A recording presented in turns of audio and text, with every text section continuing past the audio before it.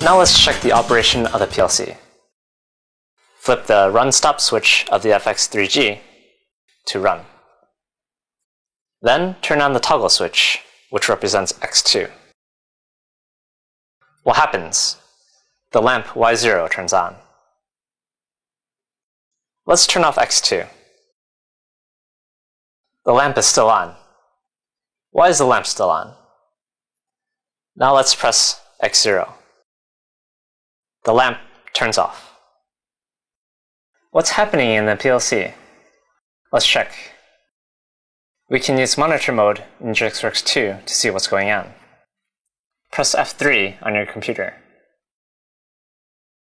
Do you see that the X0 contact turns blue? This blue means the contact is connected. Try turning X2 and X0 on and off, and watch the monitor screen. When Y0 is driven, it stays driven until X0 breaks the connection. Of course, you can modify the program. F2 is the key to change from monitor mode to write mode. Try playing around. GXWorks 2 will be your best friend.